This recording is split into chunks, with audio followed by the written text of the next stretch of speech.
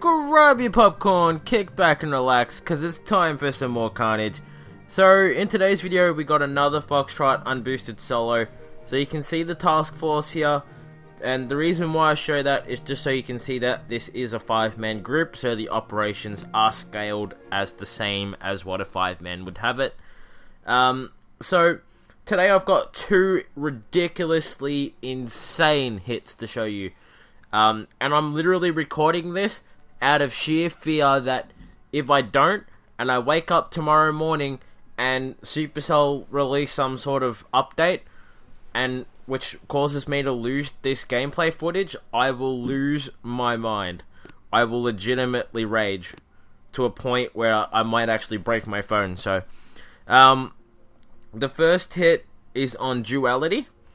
So you can see the unboosted stats there, and this was really close. Um, so you can see the damage, you can see the troop health. Now, all cores on Foxtrot have 200,000 base health. So this one had, if you get 200,000 plus 360%, you come out with something like 840,000. So uh, two artilleries there to take out the two mines and mark the flamethrower. Is what just happened there. Um, I probably would have went for the double hit on the mines and then just the one artillery on the building. But I think he got one one mine with the artillery and then tried to get the building and the mine with the next artillery. Not sure whether that was accidental or just how he went about it. I don't know. Um, so uh, without without boosting, he didn't he didn't really have the gunboat energy to destroy the boom mine, so he just sort of copped it on the chin. Um, so you can see how many smokes he used there. So, flaring the core, critters, shock, shock, and that's all she wrote. So only only two shocks and one critter box, one critter and the universal remote getting the first round, and basically just using that as that building as a really amazing distraction for all the other rockets because you can see there's just so many rockets that had range, and I will actually go back and show you guys that. So that's pretty much what it was. So rather than spending ridiculous amounts on more shocks, he literally just used the critter box and the universal remote as the distraction, and then that's pretty much all she wrote. So, um, so I'll just show you the range of the rockets here. So you can see one here, one here. This one had range. That one just barely had range. Um, so ri pretty ridiculous. So that first shock gets the rocket, the mortars, um, critter box, and the universal remote distracts the flamethrowers, as well as all the rockets that were around.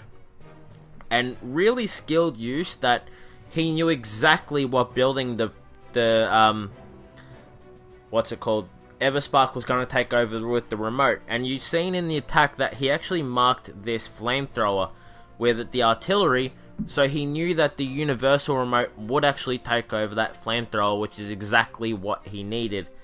Um, so really amazing, skilled attack there. Um, this is actually the first time I'm watching these attacks. I haven't really seen this one yet. I did watch Duality just a little bit so I could get a bit of a feel for it. But, um, I think this one just had just under 900k, so I will pause this and look for the ice statues. Actually, so we'll put it on half time so we can see it. So 246 and 87, so that one will be like, I don't know, maybe 700k I think. I think that's about what it would wind up to be. But you guys can check that anyway. It's just 200k plus whatever that ice that ice was for building health. So go back to one times. So destroying cells here to get some energy because all Scorchers takes ridiculous amount of gunboat energy to use. Flaring up here and the plan's going to be to destroy these rockets then flare back behind the HQ. So the shock launchers here are out of range behind the core and you can see that the rockets aren't obviously. So he's going to have four rockets to contest with along with some flamethrowers Now, I'm just kind of surprised he did this. I wouldn't have flared here. I would have flared directly to the to the cannon. But I, the downside to doing it that way would have been that the snipers would have been getting free shots on your Scorchers along the way. And maybe that's why he decided to spend the extra flare just to go back there. Just to save a bit of health on his Scorchers. Um, so timing... Oh, he didn't get the the rocket launcher. That's interesting. I guess he... I know he said this was going to be close.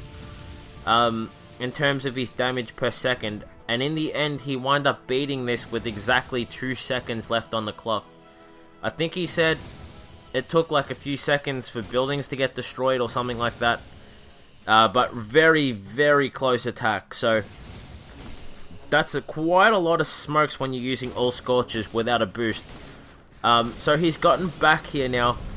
So now the now the point is going to be to destroy these flamethrowers so they don't tear his Scorchers apart. Because remember, he doesn't have troop health. That's really dangerous when you when you're using all Scorchers. I mean, that's about as ballsy as it gets. Um, so again, just still trying to rip away on these flamethrowers so they don't eat eat too much of his Scorchers up. Uh, then he's going to flare back, yeah. Okay, so he flares back, hoping that he has enough Scorchers alive right now to start ripping away on that HQ. And you can see these shock launchers again just ripping into that Scorcher up there. And I'm not at this point I'm not sure why those Scorchers ignored the flare. Ah, he flared the core. That's why. If he had have let that one Scorcher go up the top, I guess maybe it would have stayed alive a bit longer, but not a big deal, I guess. Uh, so, eating away at the HQ right now, so we'll double times it, and it's just, actually we'll four times it. So, just eating away at the core here, eating away, eating away. Very, very lucky hit. Without troop health, without any sort of a boost, this base is I can't even fathom into words exactly how hard that is.